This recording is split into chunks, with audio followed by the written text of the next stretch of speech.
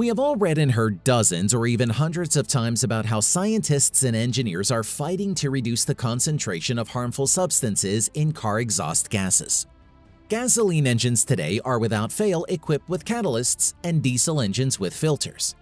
But how many of us have thought that ships are a much more significant factor in air pollution? Along the main shipping lanes, dense clouds of exhaust gases stretch for hundreds of kilometers. They can even be seen from satellites. How does it happen that the latest cruise ship or a modern container ship causes more harm than the entire fleet of an average country?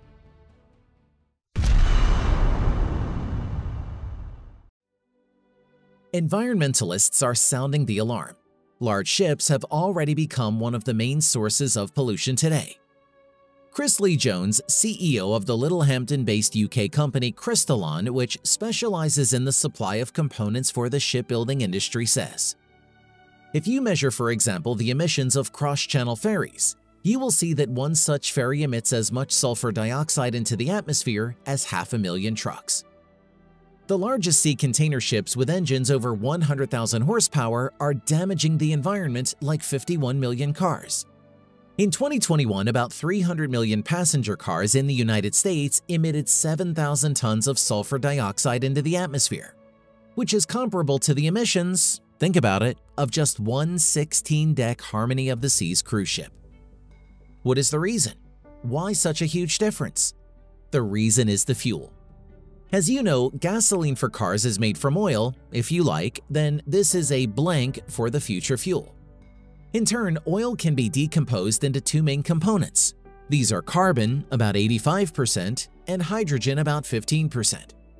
They are interconnected by hundreds of bonds, which we then call hydrocarbons. In turn, they can also be divided into complex and light compounds, but all these compounds in fact are oil. Gasoline is extracted from it in two main ways. This is the direct distillation process, and the more advanced one which has a lot of names. The most popular now are thermal and catalytic cracking. The physical process of distillation itself consists in heating the oil and evaporating the necessary compositions from it in turn. The process takes place at atmospheric pressure in a closed container in which a venting tube is installed. When oil is heated, volatile compounds begin to evaporate. Temperature from 35 to 200 degrees Celsius, we get gasoline temperature from 150 to 305 degrees Celsius, kerosene. From 150 to 360 degrees Celsius, diesel fuel. Then they are simply condensed into another container. This is a direct distillation process, but with this method, there are a lot of disadvantages. We get very little fuel, so only 150 milliliters of oil is obtained from 1 liter of fuel. The obtained gasoline has a very low octane number, namely the octane rating is about 50 to 60. In order to catch up to 92 to 95, you need a lot of additives. Therefore, many processing enterprises have now switched to a more profitable, perfect manufacturing method, cracking. The essence of cracking is simple. Oil is chemically and physically decomposed into its constituents. That is, large, complex hydrocarbon molecules are made into smaller and simpler ones that form gasoline. What does this give us? The output of gasoline increases to 40 to 50%. That is, compared to distillation, we already have almost half a liter of fuel. The octane number is much increased, usually it is about 70 to 80. Sure thing, you can drive on such fuel, but you need a minimum of additives to get the finished product. As additives, blending components to increase the octane number, alcohols, ethers, alkyls, as well as additives for freezing resistance are used. Previously, tetraethyl lead was used to increase the octane number. It is an excellent fuel improver, but it causes severe environmental damage and can also cause cancer. So now it has been abandoned. As you can see, gasoline manufacturers are very concerned about not harming humans and the environment. But the fuel for ships is obtained from the waste of this refined process. Such bunker fuel, marine fuel oil, or diesel is heavy and toxic, does not evaporate, and contains 3,500 more times more sulfur than diesel, which is used in vehicles. Ships do not have emission control technologies such as particle filters that are common in cars and trucks. Ship fuel is poisonous to fish and crustaceans and not good for seabirds or people living near ports.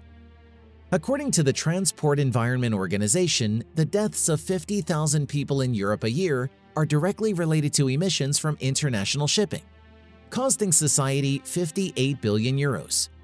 Scientists consider sulfur dioxide to be the main culprit. Sulfur dioxide, SO2, is a colorless toxic gas with an unpleasant odor. It is released during the combustion of fossil fuels. Diesel vehicles are the main source of sulfur dioxide. Like nitrogen dioxide, sulfur dioxide can create secondary pollutants when released into the air, sulfate aerosols, particulate matter, and acid rain. This massive emission source cannot be ignored. The dependence of shipping on fossil fuels is having a catastrophic effect on the planet, especially our oceans.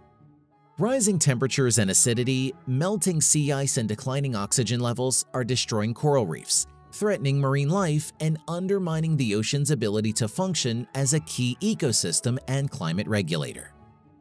Given that every second breath we take comes from the ocean, our health is directly related to the health of this unnatural system.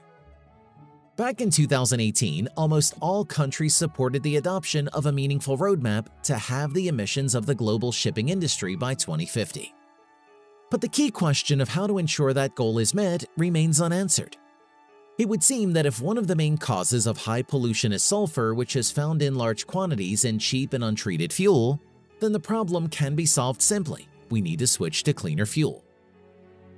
Experts also see a panacea in moving away from high sulfur fuel oil and switching to a higher quality diesel fuel containing less sulfur.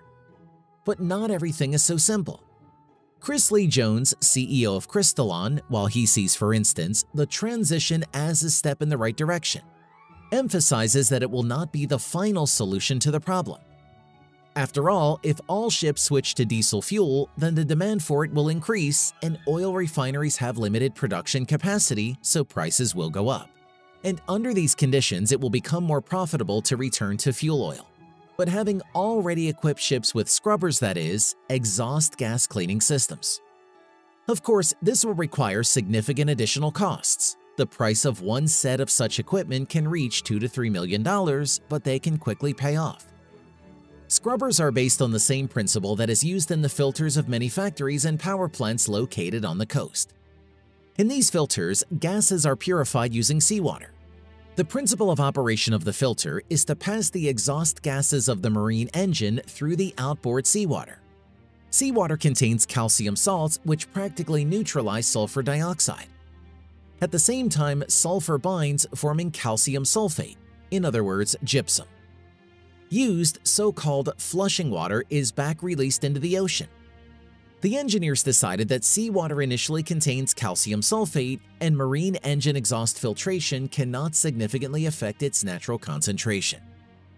As a result, the system removes almost all sulfur dioxide and approximately 80% of particulate matter from the exhaust gases. The race to install scrubbers has just begun, in January 2020, the organ of the United Nations that oversees shipping announced a new global sulfur limit of 0.5% instead of 3.5%.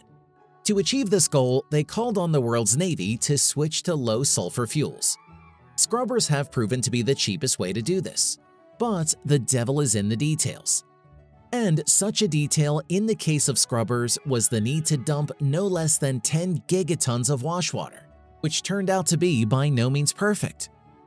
The impact on the marine environment of increasing volumes of waste from scrubbers was not properly considered before they were allowed to be used. The vast majority of scrubbers are open systems that effectively transform air pollution into water pollution by continuously discharging warm acidic wash water containing carcinogens, such as polycyclic aromatic hydrocarbons and heavy metals.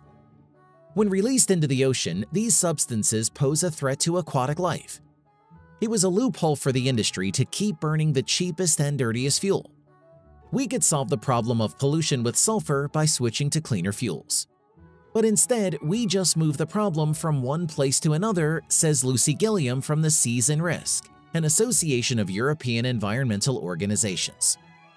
Unfortunately, all this time, sea freight has served the oil companies as a way to dispose of more dirty raw materials that are intensively poisoning the planet.